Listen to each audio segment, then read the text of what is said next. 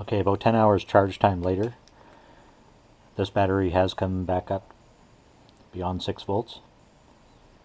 Um, so it is at least viable again. However, the load test um, showed it to be somewhat weak under load, so I, I don't think it's quite uh, recovered fully.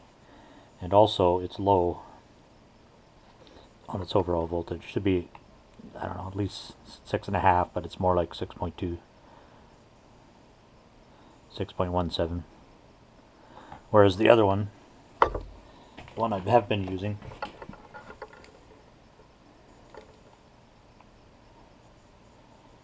Six point five, six point four seven.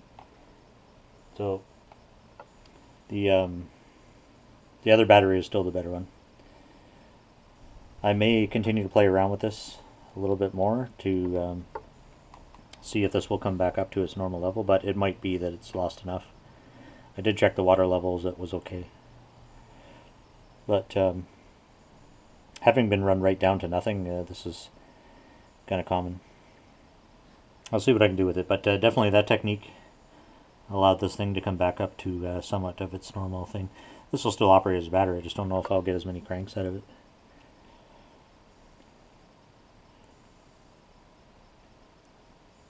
Anyway, just wanted an update.